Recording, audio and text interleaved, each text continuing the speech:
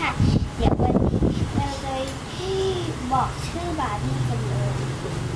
ดูดังหน่อยตัวตัวนี้ก็จะชื่อมิงจะเป็นนางฟ้าปีกค่ะ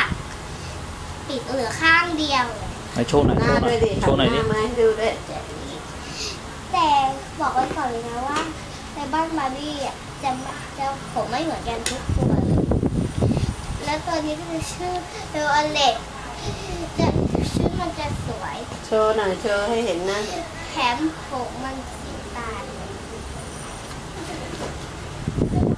แล้วตัวนี้จะชื่อ และและตัวนี้ก็ชื่อเวลเลตจะผมทองแก่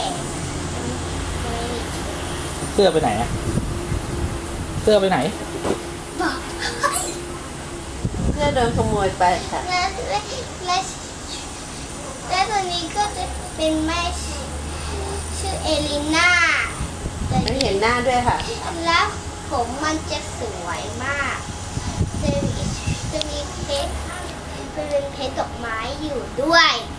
แล้วปากจะสวย ตัวนี้ก็จะเป็นตัวพ่อ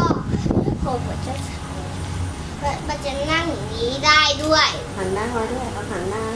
้ตัวเนี้ย ชื่ออะไรคะตัวนี้ก็จะชื่อเคนมันนั่งอย่างนี้ได้ด้วยโอ้แจ๋วเลย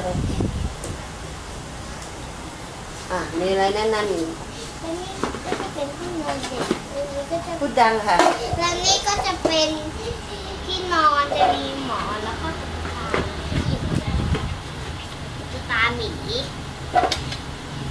แล้วก็จะมีกล่องใส่เสื้อผ้าของลูก แล้วก็จะมี อยากให้เป็นอ่างล้างหน้าอืมจะเปิดได้